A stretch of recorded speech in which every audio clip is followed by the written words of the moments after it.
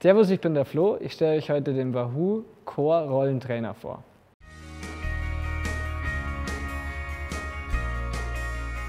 Eigentlich für alle Radlfahrer geeignet, die sagen im Winter, okay, mir ist zu viel Schnee auf den Straßen, zu viel Eis und ich will aber trotzdem meine Radlfitness im Winter aufbauen.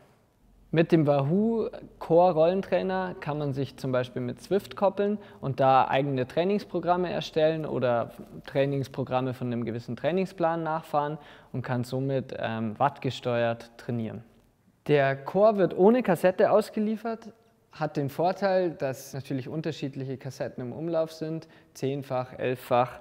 Das heißt, ähm, man schraubt am besten von seinem Hinterrad einfach seine Kassette ab, bringt die hier auf den Freilauf an und kann dann ähm, mit seiner eigenen Kassette trainieren. Was ich persönlich an dem Core auch sehr schätze, ist, dass er sowohl ANT Plus als auch Bluetooth unterstützt und somit sich mit nahezu jedem Brustgurt oder Powermeter verbinden lässt. Ich persönlich kann den Core jedem weiterempfehlen, der auf der Suche nach einer Indoor-Trainingsmöglichkeit für den Winter ist, dem die Berge zu weit entfernt sind oder der einfach abends nur mal kurz eine Stunde Zeit hat zum Trainieren.